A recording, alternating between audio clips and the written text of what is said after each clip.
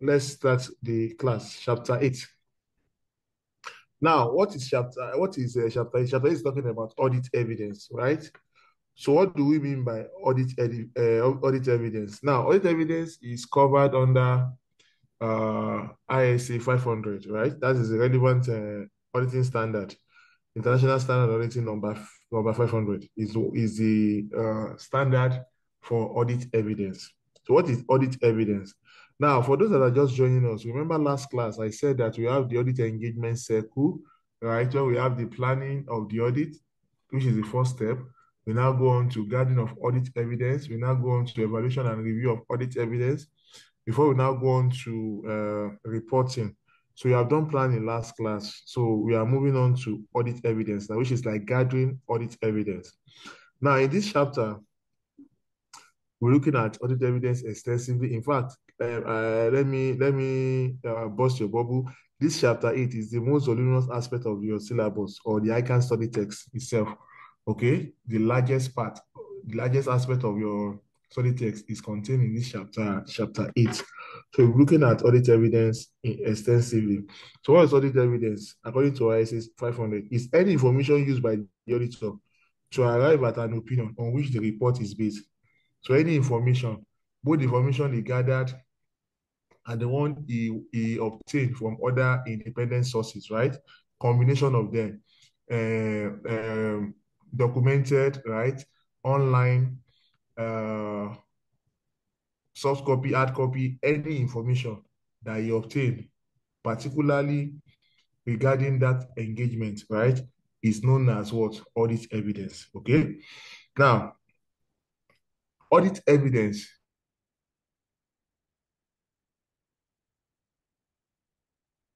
destroying his conclusion, which is his audit opinion about the engagement that he is currently uh, working on. Now, before you go on on audit evidence, also need to, to be sure the auditor is going to gather sufficient and appropriate audit evidence, right? He must carry out two tests, and the tests are test of controls and test of detailed transaction, right?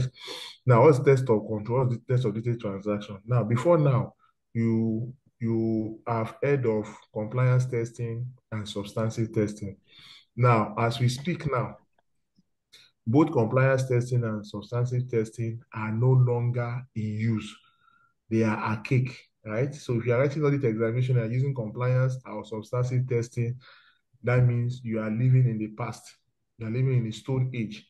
So the new name for these two tests are test of controls and test of detailed transaction. Now, what I do by test of control? Test of control are those control or those tests on those internal control system in the client business environment to check whether it is efficient and is effective. That is test of control. Why the test of uh, detailed transaction is a follow-up to test of control. So if you are not convinced, okay, if your uh, reasonable assurance is low, if you don't have enough reasonable assurance about the test of control, right, you proceed to conducting test of detailed transaction. So detailed transaction is a test on the. Are you pointing? So eh? just mute your just mute your mic, right? Let's mute our mic, please. Okay, thank you. Everybody should mute your mute your mic. Okay, so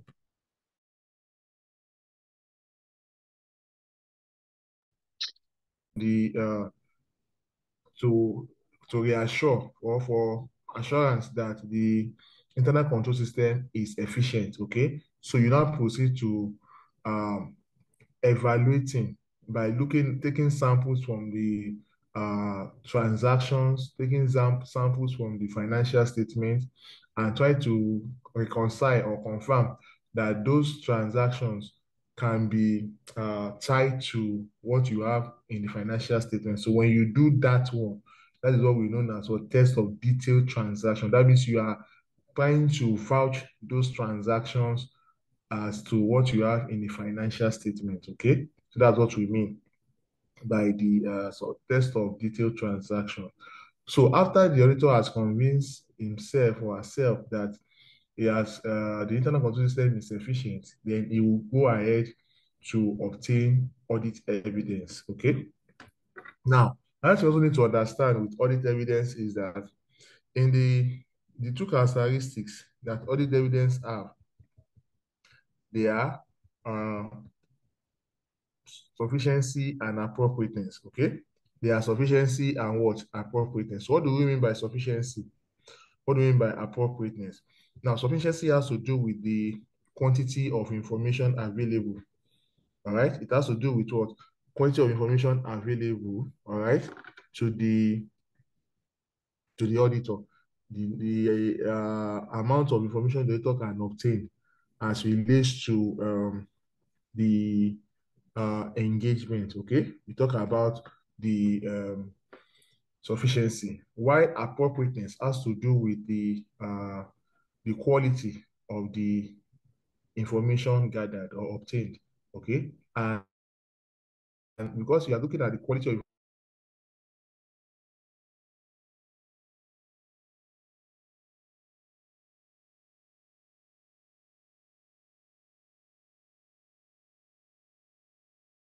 relates to that particular engagement. So you need to ensure that you gather only relevant uh, audit evidence, okay? Then the reliability is looking at the source of those audit evidence that you are gathering because it's very key, very important that the source is credible and is reliable, right? Because if, the, if it's not uh, credible and reliable, then that means that whatever opinion the auditor is going to form will be considered as uh, full of what? Incorrect opinion and to lead to audit risk. All right. So for the auditor to be sure that is able to obtain sufficient and appropriate evidence, right? It must, it must carry out those two tests, test of controls and test of business transaction. Then once that has been done, it's now going to uh, proceed to the next level. Now, one of the things you need to understand when talking about reliability of audit evidence is that for the auditor, it's very, very sacrosanct that the audit evidence that is going to rely on, right, should be something that has a, a high level of what reliability, that it must be sure of the source of that information, and that information must be correct. Okay, and that leads us to the uh, generalizations. Okay, that is for the auditor to be able to uh, place reliability on audit evidence, then he needs to ensure that uh, the following uh, generalizations are met. Okay, the following generalizations are what are met.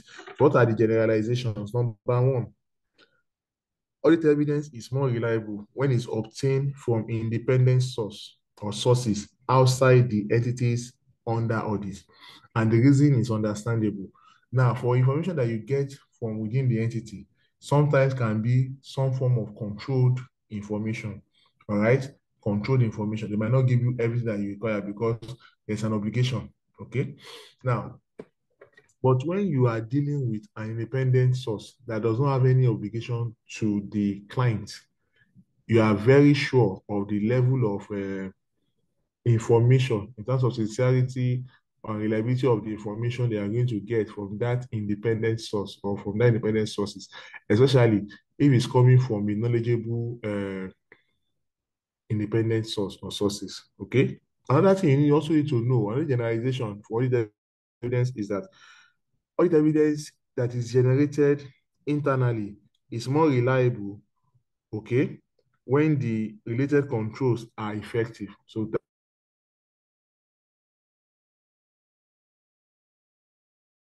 financial reporting is effective, right? Then that means that the uh, audit evidence that is obtained internally can be or will be more reliable. All right.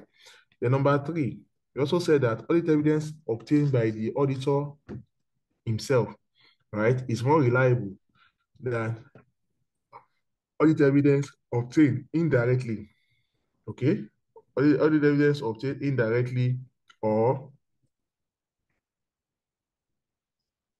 audit evidence obtained indirectly or audit evidence uh, that is obtained by inference, right? So what we are saying here is that the auditor that is gathering the audit evidence, he knows what he wants, okay? He knows his audience, and that is why he's very sure of what he's getting or is gathering. And that means that any other information he gets indirectly or by inference, inference means assumption, right, might not be as reliable as the one that he gathered uh, himself. Then we also need to understand that uh, audit evidence that is obtained in a documentary form is more reliable than audit evidence obtained in an oral form. Why? Because the reason is not far-fetched. When evidence is obtained in an oral form, it can be denied, okay?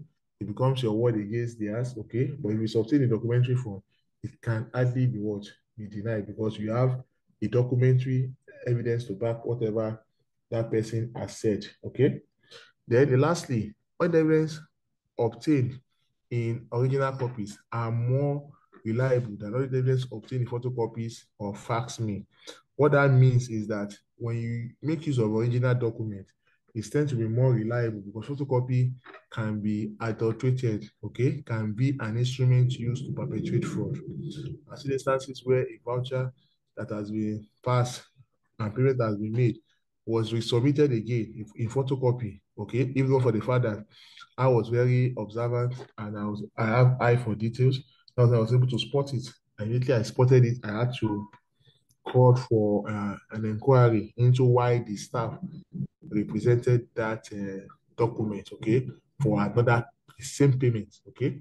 So that's what. So with all of these, these are what you use to substantiate the reliability of what audit evidence. The five uh, generalizations that I just explained now.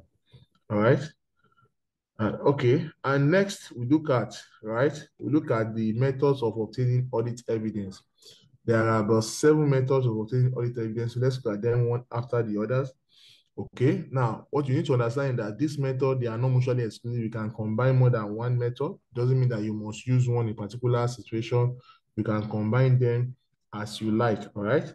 Provided you're able to have uh, a, uh, a reliable uh, audit evidence at the end of the day. So in no particular that we start with the first one. The first one is inspection.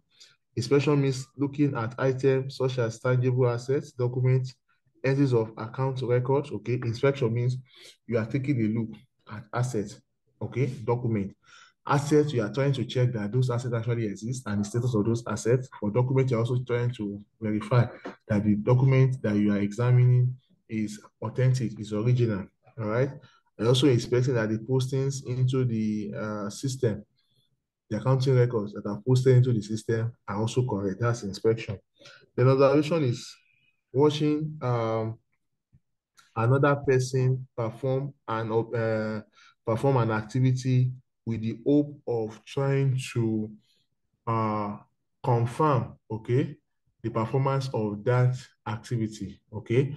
So somebody is doing something, right? You are now there to observe how those things are done, all right? So in the essence is that you are trying to establish that actually that particular um, activity was recorded and uh, performed, okay? So an example of that is when the externators watch uh, as a physical inventory count is being conducted, okay? So that's an example of observation. Then inquiry means seeking information from knowledgeable persons instead of outside the entity, okay? So you're making an inquiry, asking questions as to, for people that are knowledgeable, that have understanding of what you are asking, be able to throw more light on why transaction transactions occur, all right?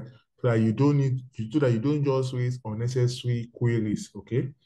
So once you have that understanding, you'll be able to, be able to appreciate the work of the management concerning the preparation of the financial statement, okay? Then we also have external confirmation. This is where the auditor places reliance on the work done by uh, third parties, especially knowledgeable third parties, okay?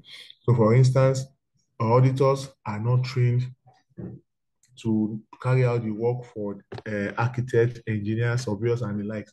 So these people, the auditors rely on their work. They place reliance on their work. And because they place reliance on their work, right, there is a need for them to take some level of responsibility, knowing fully well that those people are people that they know for their professionalism and not because they know them for friendship. They know them because of their professionalism, level of professionalism, so that they can place reliance on them. The base, the big risk for auditors to place reliance on the work of third party or knowledgeable third party is the fact that it's going to take ownership of that engagement as though he understood he, he was one that carried out the activity itself. Okay, so that's what we mean. Then uh, we have a recalculation.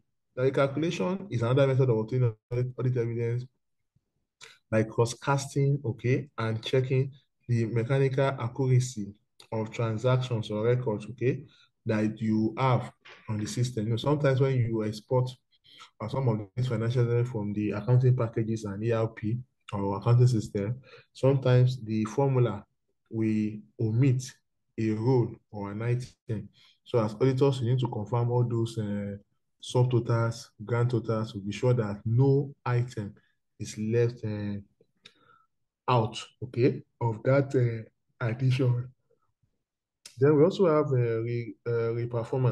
Re-performance is an independent uh, execution, okay, of procedure or control by an auditor, okay? So somebody has already done, somebody has already evaluated the internal control. So the auditor now said let him do it himself, let him be sure that that person did not play a fast one on him, okay? And because of that, you need to do it himself to be sure that they are going to arrive at the same uh, conclusion.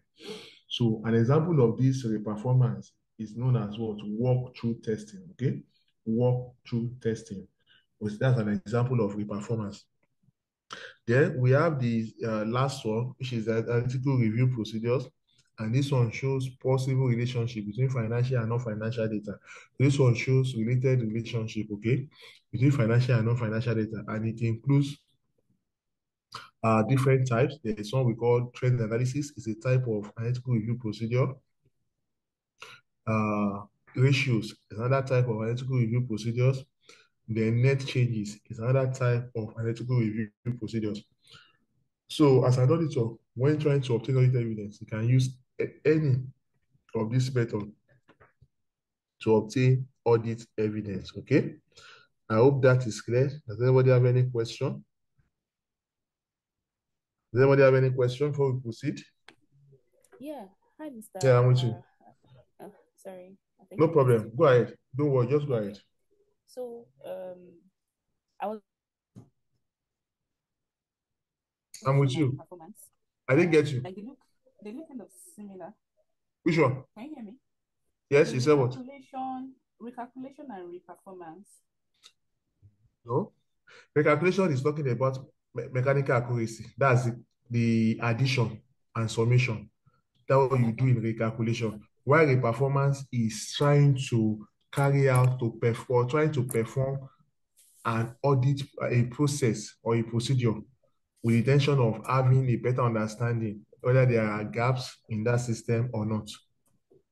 Mm. Okay. Is that clear? Are you Yeah, convinced yeah. now? Yeah, it's clear. It's just because of the example I saw under the performance. I mean, the aging analysis for like year-end trade receivables. Mm-hmm. You know, that's still it's still like an estimation, like a calculation. Now, So what you are doing, so okay, now to you to even use that example that you said. Now, if the uh the client has extracted the aging analysis from the system for the auditor, okay, what that means is that the auditor will now go to the system himself or herself to generate that same report and see whether it's going to arrive at the same conclusion. So if he goes to the system to extract that same information, what he's doing is known as what? Reperformance and not recalculation. Do you understand? Yeah, yes. Okay, so that's that. Any other question? You're welcome. Any other question from anybody? Other question, comments? All right, so we go to the next one, which is the financial statement assertion. Now, This is a new one, okay, in the syllabus. What do we mean by financial statement assertion? Now, financial statement assertion, right? They are statements made by management to the auditors that the financial statement that they prepare and present to the auditor do not contain any material misstatement. I take again.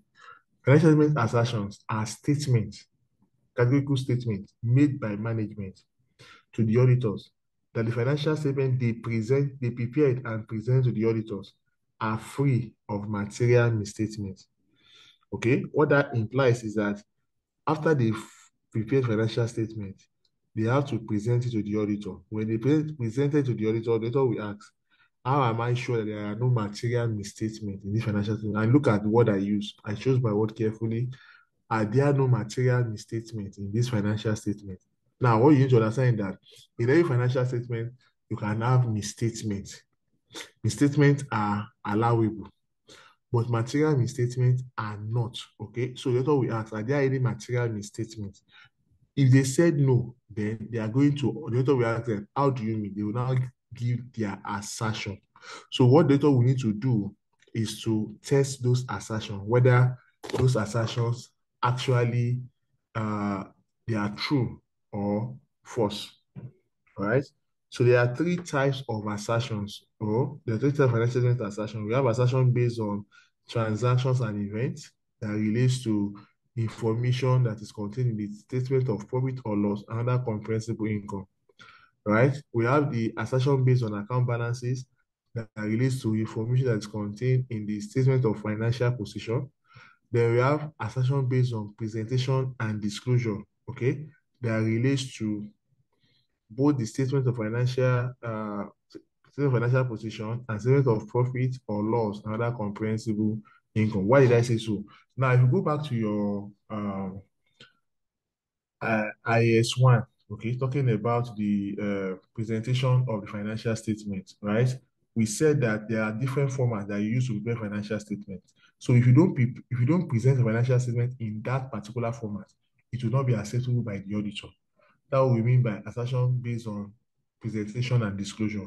Then for every of these financial, whether the statement financial position or statement of profit or loss, there must be some element of what disclosures for easy understandability of the users of that financial information. Because without those notes to the account, which we know as disclosures, it will be very difficult for an ordinary person to have an understanding of what the uh, financial statement, uh, how to read or interpret the information contained in the financial statement. Okay, so we are starting with the first one, which is a uh, assertion based on transactions and events. Okay, now in that we are going to we are going to test this uh, this assertion. Number one is completeness. What do you mean by completeness? What do you mean? What do you mean by uh, completeness? Now, completeness has to do with uh, the auditor trying to test whether all recorded transactions, okay, events, every, uh, asset, liability, everything, okay, that should have been recorded have already been recorded, okay. That is every information that relates to asset, liabilities, equity, interest, trans transactions, and events that ought to have been recorded have been recorded. That is, you not leave anything out.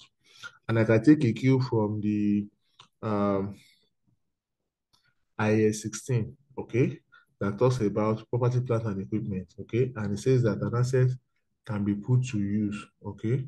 No, not even looking at put to use, that every cost that is entered to putting an asset to use must be considered, okay, when they try to uh, when they try to uh, determine the total cost of that asset. That is all the costs extended to that asset to put it into use should be considered when trying to determine total cost of the asset. So what that means is that you should not only rely on the invoice value or fair value. You need to talk of uh, cost of commission or the commission, cost of service, okay, cost of the transportation, delivery, all of this should be factored in. Okay. So, so at the end of the day, you are going to, so if they have omitted any of those costs, let's say they omitted transportation costs and the commission cost, that means that the information they put there is incomplete. That means there are some transactions that they have not recorded and they ought to have recorded them because it is not in line with IAS 16 that talks about property, plant, and equipment. Okay, I hope that is clear. Then go to the next one, occurrence, all right? Occurrence here means transactions, events recorded in the financial statement took place during the accounting period and relates to that entity. So you should ensure that if you are preparing financial statement of year 2023, all the transactions that are contained in that financial statement relates to year 2023 and not to 2024 or 2021. Okay, it must relate to 2023. Then another one is the accuracy. Accuracy is looking at ensuring that proper amount have been disclosed in the financial statement. We test the information whether proper amount has been disclosed, okay, in the financial statement. We're going to do the addition and uh, uh, submission, okay? Then we have uh, classification and uh, understandability. Now, this entails what you have here now, okay? What you have here is a combination of all the assertions, okay, that the will test. They did not split it into three, okay? It's all the assertions that the auditor will test. So I need to make that correction. So all the, the ones I've talked about, the completeness, occurrence, accuracy, classification, right? Those ones relate basically to the assertion based on transactions and events, okay? So the classification and understandability, that itself, uh, classification and accountability relates to assertion based on disclosure and presentation or presentation and disclosure, whichever way you put it, you are not, you won't be, you will not be penalized. Okay. So what that means is that for all the information that is uh, contained in financial statement have been appropriately presented and all necessary disclosures have been what have been made uh, clear because you are looking at presentation and disclosure. That's why we talk about uh, classification and understandability. But classification itself alone if without the understandability relates to assertion based on transactions and events. Then we have valuation and allocation. Valuation and allocation also relates to uh,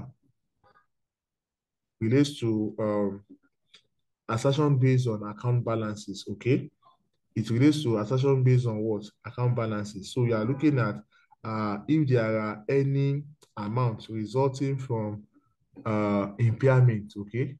That whether those uh, information or those amount, those adjustments have been properly uh, recorded, okay, and disclosed in the financial statements. Okay, that's what we mean by valuation allocation. That means you must carry out impairment tests, and if you notice, or if there are any differences or variances, you must ensure that uh, proper disclosures are made as regarding this. Then another example, another type of uh, assertion based on uh, account balances is also existent. So later we go and test what asset liabilities and equity interest exist. Okay, when they are doing uh, asset verification, that's one of the things they go and do to go and test uh, the existence of those assets. Then we have cutoff. Cutoff is to assertion based on transactions and events. Okay, and ensures that only transactions for that current period are recorded. For instance, if you incur expense for 2022, it should be recorded in 2022 and not to be recorded in 2023, regardless of the time. Okay. So for instance, let's say it was uh was recorded uh or the transaction occurred uh 31st December 2023 at about 11:59 so because it's not 12 a.m. that will go to a new year, that transaction was recorded in year 2023. That we are trying to say.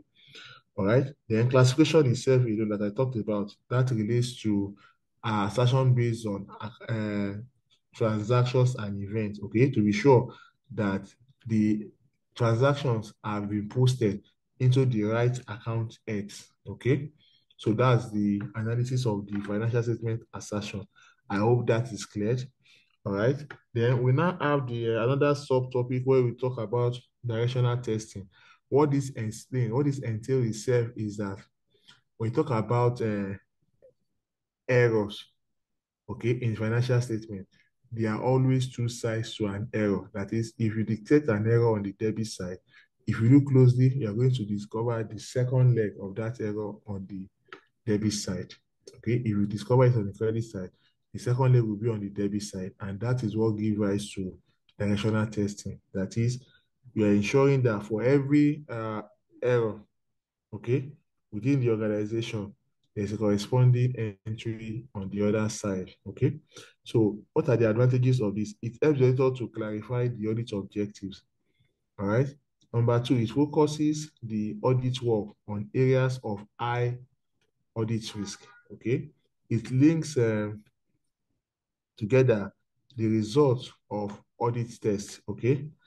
Like I said, look at what they said about uh, directional test. That is the foundation of the fundamental principle of double entry accounting, where for every debit entry, there is a corresponding debit entry, okay? So, like example, the other say if a non-current assets are overstated by 5 million, but if your balance uh, balances, then one of the errors must have happened, okay, to explain how the situation has uh, has arisen, okay? So, sorry. So that is that about um, about that, okay? All these are other examples on uh, the um, when we talk about the sorry? When we talk about the directional testing, okay, it's part of all these are examples that they uh that they use to explain what these uh what is uh all right now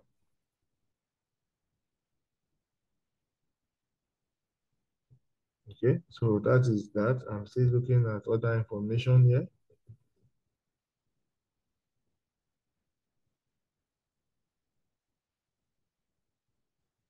so that's that about uh, uh, financial statement assertions. So thought we test all of those, each of those assertions, one after the other, to be sure that it contains the right what, the right information.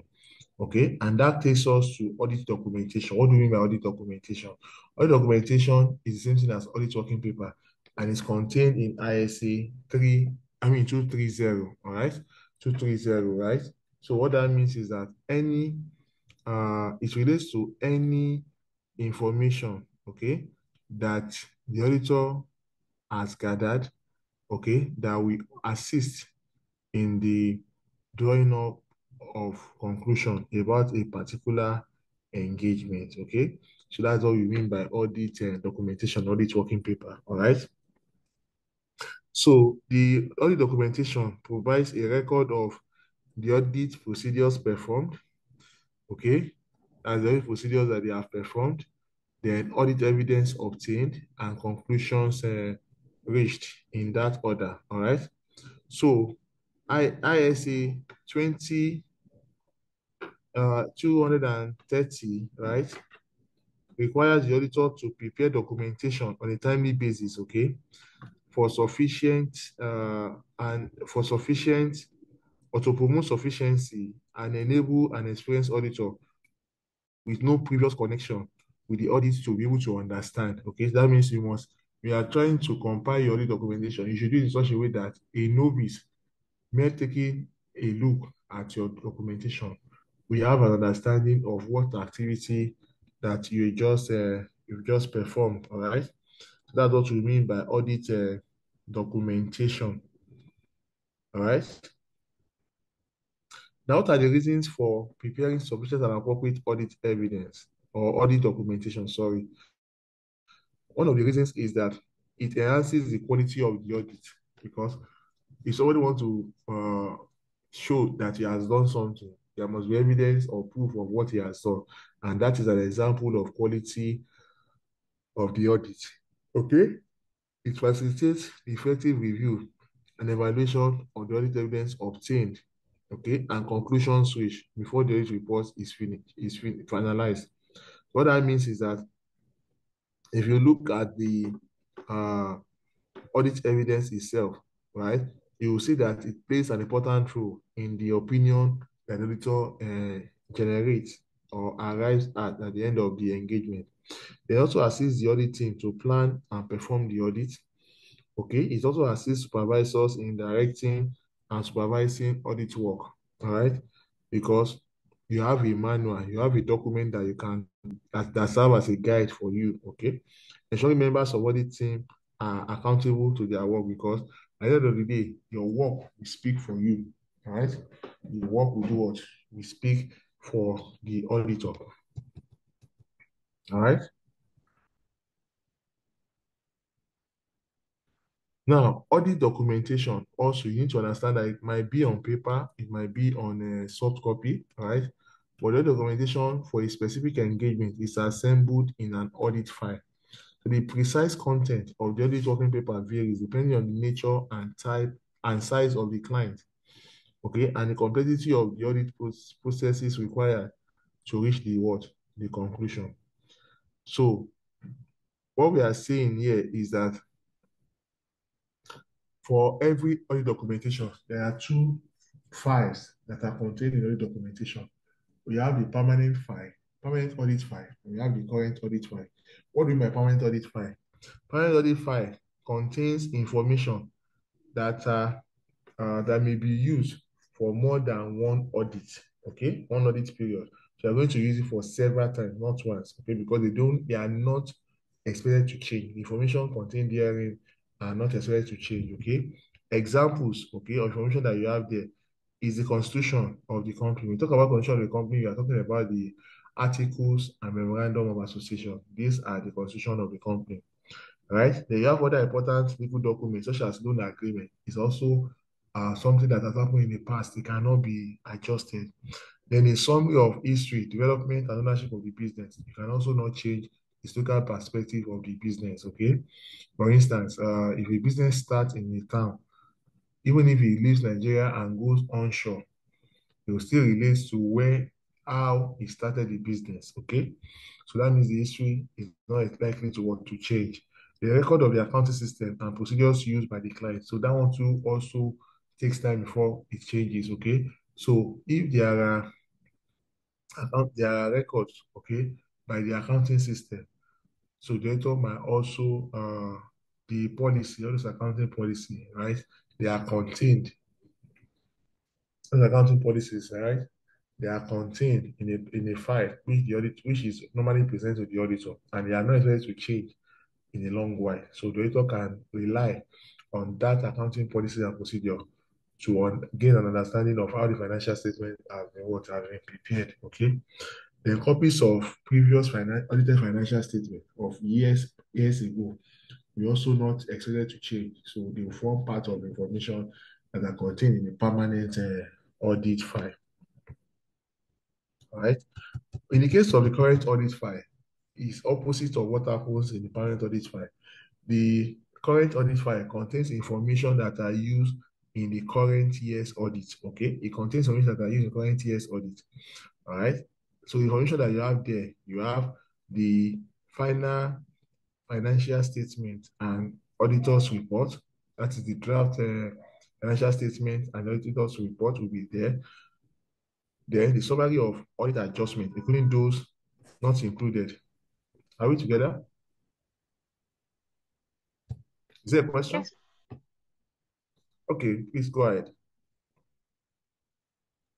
No, go ahead, please. No, no, no, no. Not at all. I was answering your question. Um, if you asked if we were together.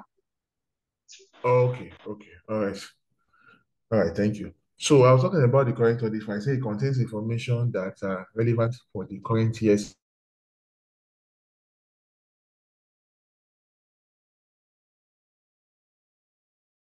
auditor's report for that current year, a summary of audit adjustments, okay, including those not included in the final reported uh, figures.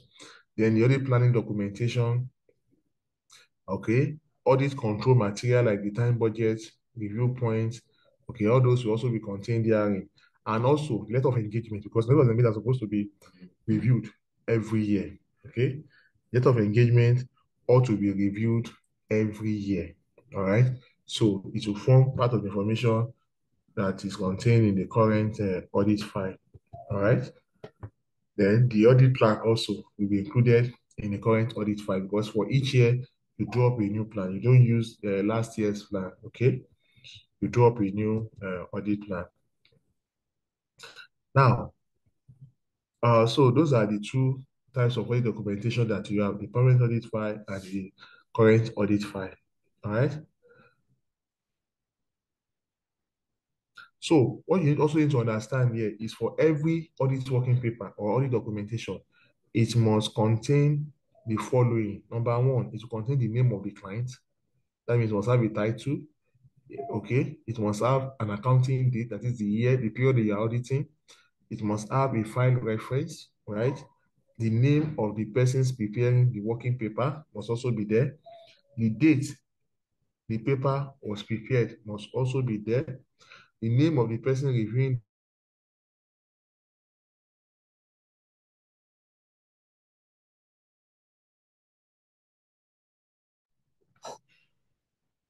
So we're discussing the uh,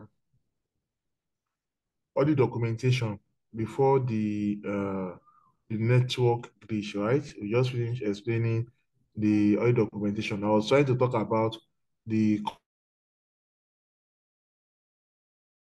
an audit uh, audit documentation. It has it must that means every audit documentation or audit working paper must have the name of the client, okay, the accounting date, that is the year that they're auditing. For instance, you're auditing 2023, you must have the period or year ended 2023. Then you must have a file reference, okay? The name of the persons preparing the working paper must also be there. The date the paper was prepared must be there. The name of any person reviewing the work or the extent of such review also be there. The date of the review must be there. Okay, a key to explanation of the audit ticks or symbols used in the audit working paper should also be there. So what that means is that there are certain, uh, we call it audit tick marks, okay? So for instance, if the auditor is trying to compare uh, information from different uh, sources, okay? Okay, you might need to use a symbol or a uh, an alphabet or combination of alphabet to represent or to depict that that information has already been confirmed, okay? So I will not do a repeat, it will not repeat such um, uh, activity again, okay? Because you have it will show that that has already been done by the auditor. That's what we mean by the, those tick marks. All right, a list of any error or omission identified and the auditor's conclusion on the area will also be there. Okay, so what that means is that for auditor, right, he must ensure that the audit working paper or the audit uh, documentation is ready, okay, at least 60 days, okay? It must be ready 60 days after the audit report is what is published. That is, what we are saying is that you have published the audit report, you have 60 days to compile your audit working paper as what? As document, okay? You have 60 days. Okay, the vendor must not delete or discard audit documentation before the end of its retention period. Audit paper should not be deleted because it has uh, uh, its own importance, okay? There might be need for it. You're able to, I mean, we must be able to retrieve such information, okay? They also have uh, the audit paper now that has now become digitized or become electronic, okay? And what that means is that auditors use computer softwares now, okay, to improve the efficiency of preparing audit working paper. So, uh, and that has a lot of uh, advantages, okay? And one of the advantages it potential is that audit working paper now are neat. There's no need for you to cancel or to use Tipp-Ex or to use a, a eraser. Okay, you don't need that again because it's on the system. You can easily uh, correct it or make necessary adjustments. So it's very neat. Okay, and it's easy to read and in a standard format. There is a lower risk of error by the auditor in processing adjustments. Okay, lower risk of errors. So that means that there might not be errors, okay, in the uh, compilation of that uh, audit uh, working paper.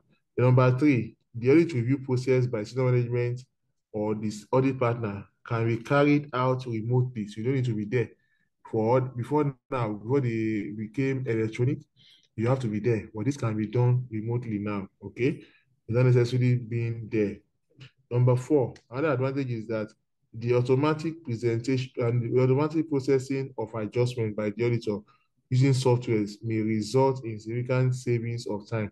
So all those adjustments can be uh, computerized, okay, just by using some uh, SQL, okay, or some other software to carry out uh, this um, this adjustment, okay. So those are the advantages of the introduction of computerly generated audit working papers, okay.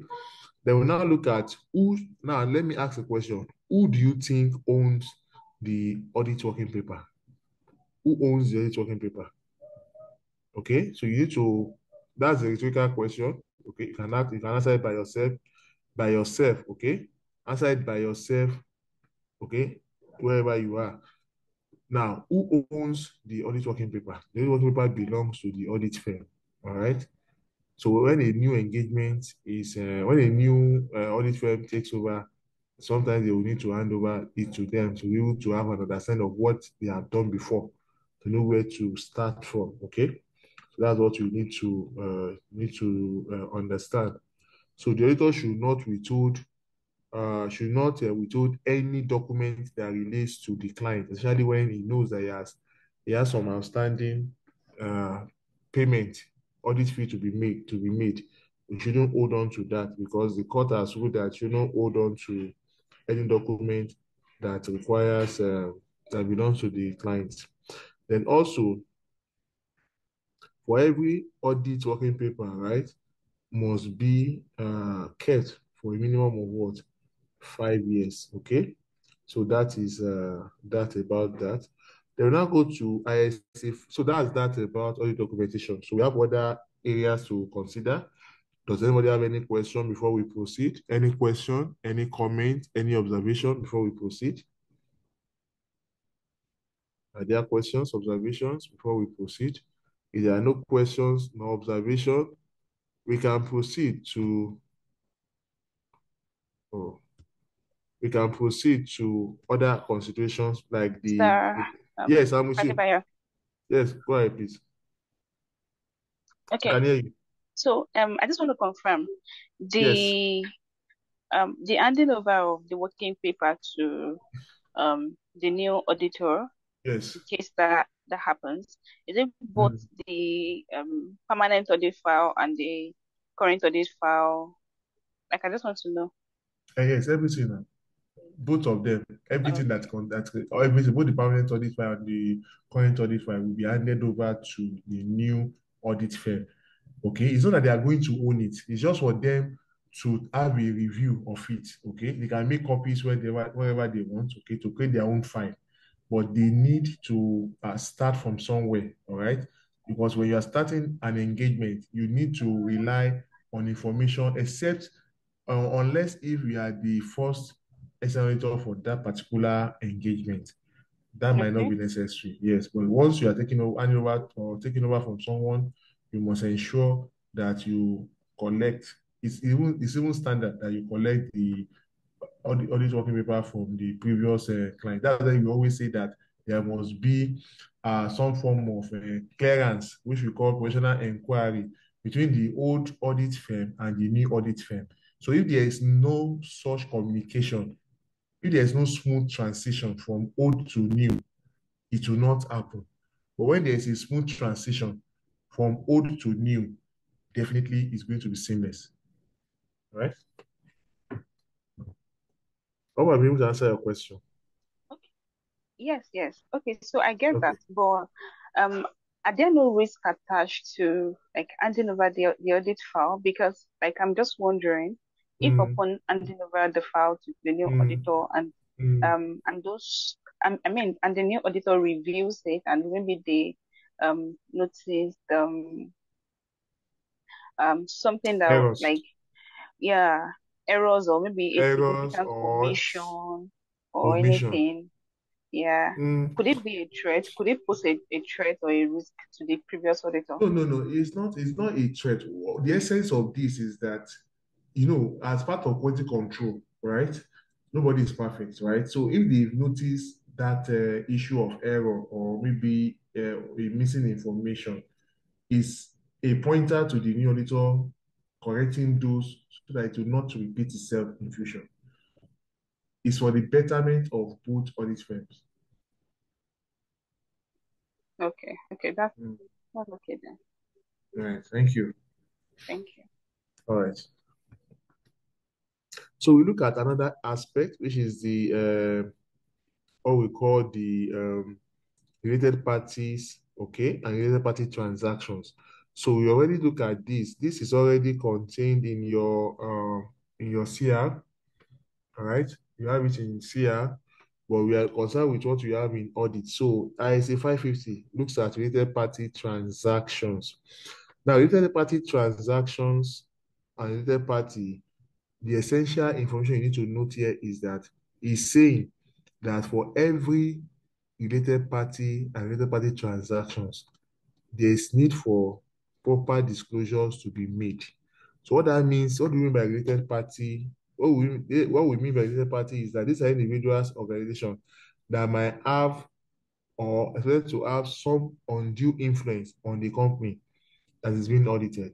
So their presence alone can uh, destabilize or influence decision of the management. Okay, so uh, because of that, you always expect that there's always the need to disclose any related party transactions. Okay, for instance, the directors and the key management of a company and their family, other com other companies controlled by the directors, key managers, and members of their close family and other companies in the group. All these are what we call known as related parties. Okay.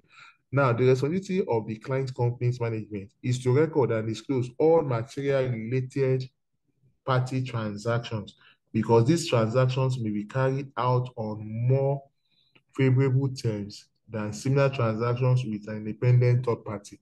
What that means is that because there is those who that exercise undue influence, there is every need that uh, transactions are not carried out at an arm's length transaction. That is, transactions are carried out in form of a connected person. That is, because I know this person, the person did not pay the full amount. He was giving some discount, okay, or he was giving some preference, okay, for certain information. So that's what we mean. So what we are saying here is that there is need for every organization to always disclose their uh, related party and related party transactions in their notes to the account as relates to the financial uh, statements. Okay. Now, the objective of the auditor with regards to ISA 550 are to one, to gain an understanding of the entity's related party relationship and transaction, which is the main thing.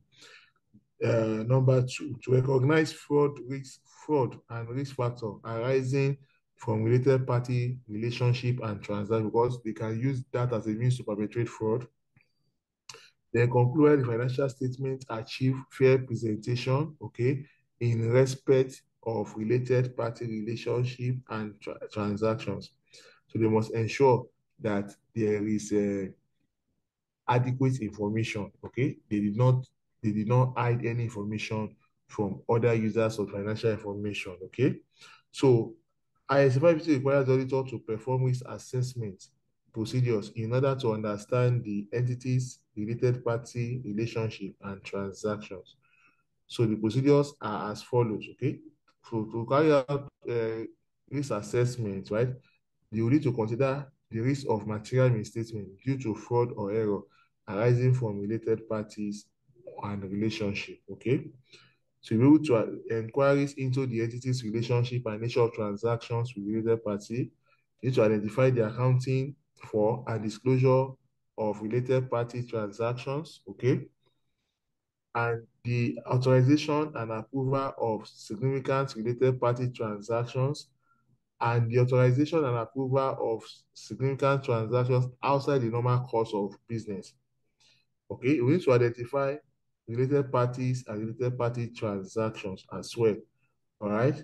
So in making inquiries of management in respect of the entity of related parties, auditor will obtain a list of related parties from the directors and consider if the list is complete. So the test for completeness would include the following. So they will need to, what happened here is that in every organization, the management must present uh, and disclose their list of related party transactions and related party itself, okay? And auditor will review the working paper of previous year to look for names or known related parties, okay? We also review the company's procedure for identifying related parties. There's also going, it's also going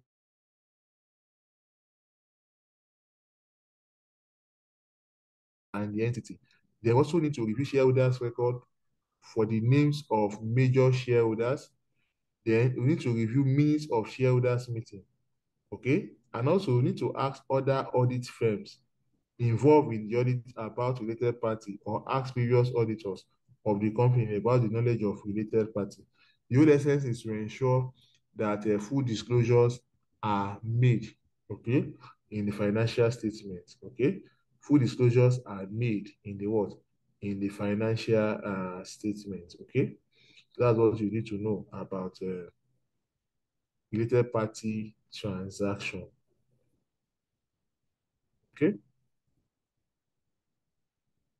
Now, what are the uh, of if there are, what are the responses to risk of material misstatement? Okay, as relates to ISA 550, which is the related party transaction.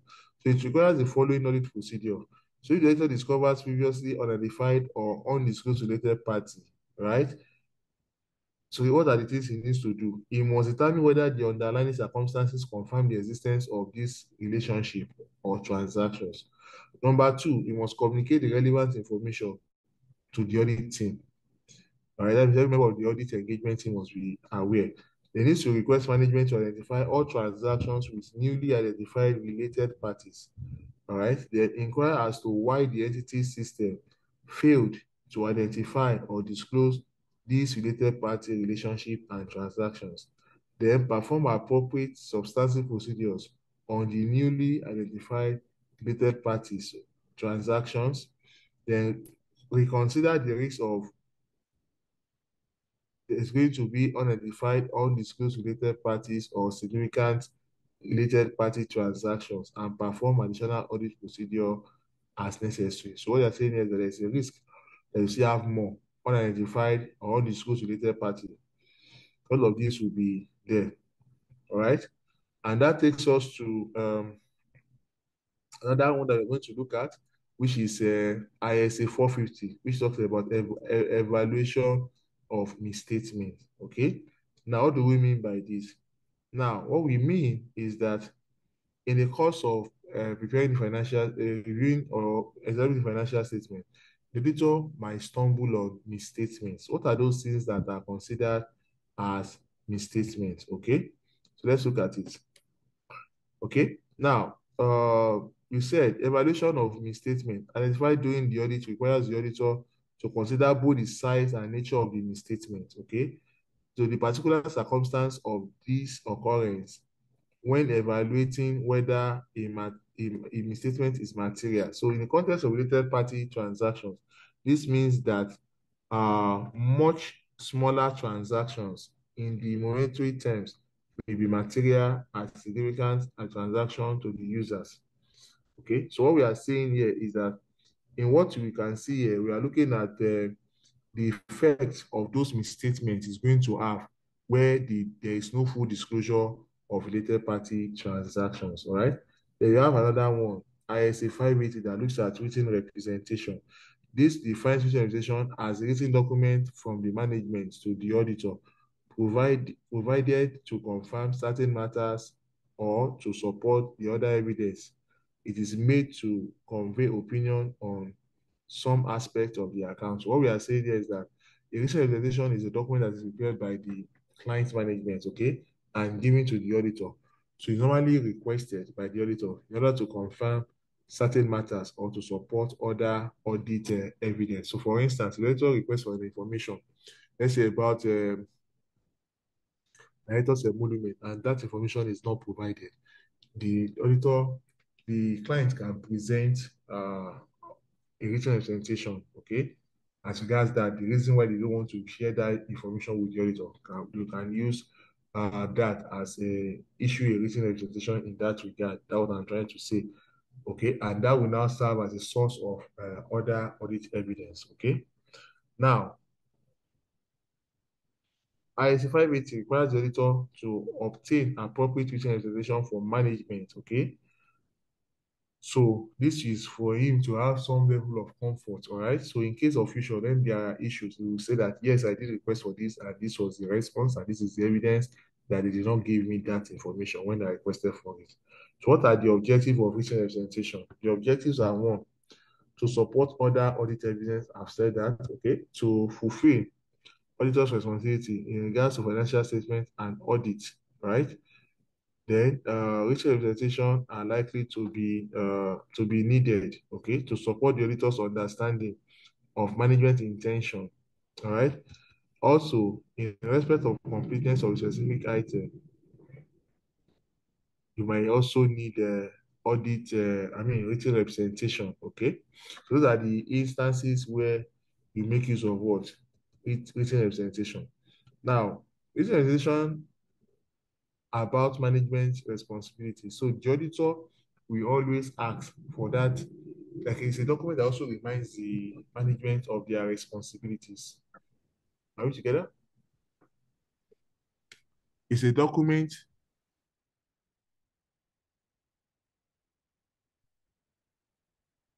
so most of the responsibilities of the directors are contained in the written representation as well as the uh,